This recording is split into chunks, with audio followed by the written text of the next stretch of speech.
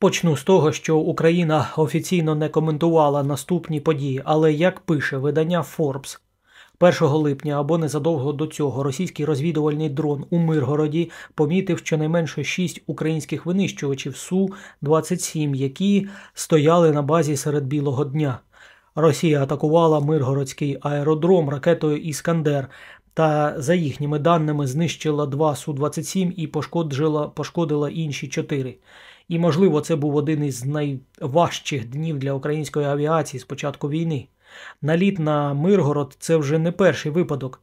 Перші удари були ще восени минулого року. Застали українські військово-повітряні сили зненацька і підірвали пару винищувачів Міг-29.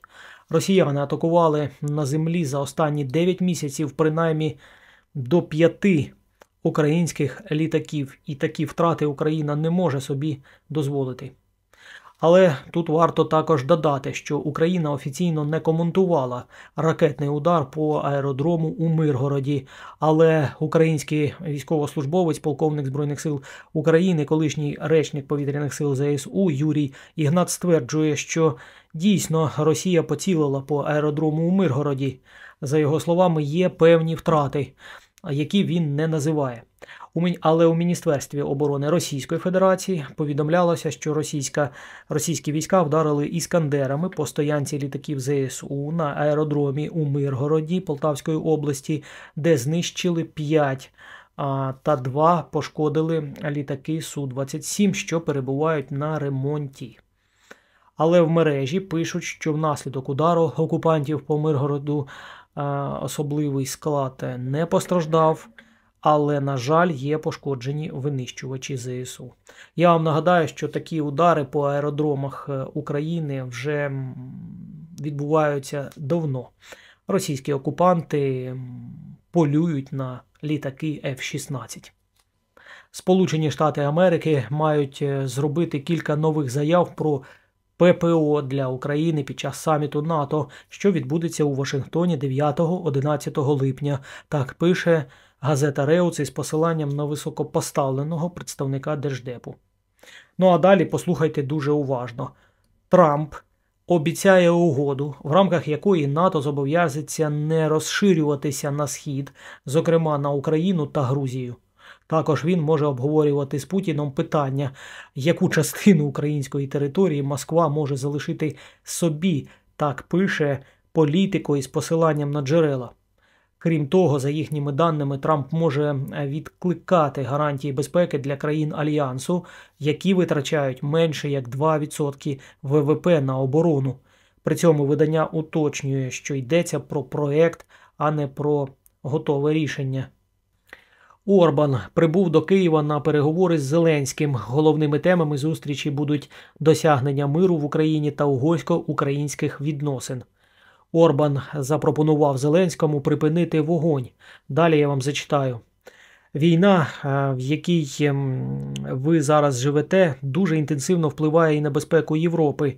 Ми дуже високо цінуємо усі усі ініціативи пана Зеленського заради досягнення миру. Ці ініціативи потребують, на жаль, багато часу. Саме через е, правила міжнародної дипломатії вони ускладнені. І я попросив пана президента подумати про те, чи не можна трошки інакше піти, зробити перерву прервати вогонь і потім продовжити почати перемовини, адже припинення вогню могло б забезпечити пришвидшення темпу цих перемовин.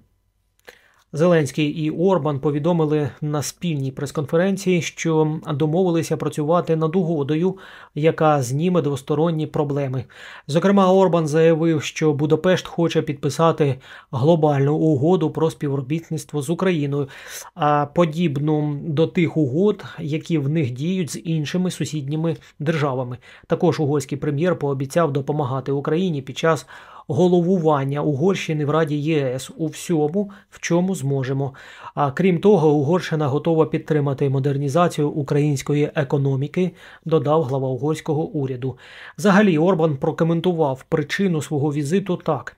За його словами, мета головування Угорщини в Раді ЄС полягає у вирішенні завдань, які стоять перед Європейським Союзом, тому він і прибув до Києва. Ну але скоріше за всього він привіз якусь пропозицію від Путіна, про яку ми, можливо, навіть і не дізнаємось.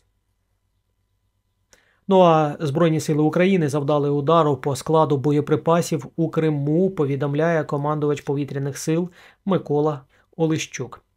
А вкотре українські літаки продовжили успішно виконувати бойові завдання, завдають ракетно-бомбових ударів по позиціях окупантів та ліквідують важливі військові об'єкти в глибокому тилу противника.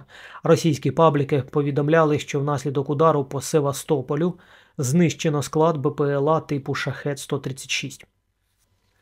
Сирський повідомив, що працював на східному фронті, побував практично в усіх е, бригадах Покровського, Курахівського, Турецького, Краматорського напрямків, а також у Вовчанську. А скрізь тривають просто жорстокіші бої різної інтенсивності. А в порівнянні з попередньою поїздкою, яка була два тижні тому, додався ще й турецький напрямок. Складною залишається обстановка на Покровському напрямку. Разом з тим, лінія активного фронту теж збільшилась. Серед основних проблем Сирський назвав по-перше, це комплектування частин і підрозділів вмотивованими та якісно підготовленими військовослужбовцями. А по-друге, це забезпечення сучасними засобами РЕП і ППО, спроможними ефективно боротися з ППЛА противника. Водночас в Збройних силах України є й перевага саме у кількості і якості бойових коптерів та fpv дронів, а також майстерність українських операторів. Я вам дуже дякую за перегляд. На цю мить в мене все. Підпишись обов'язково. До зустрічі!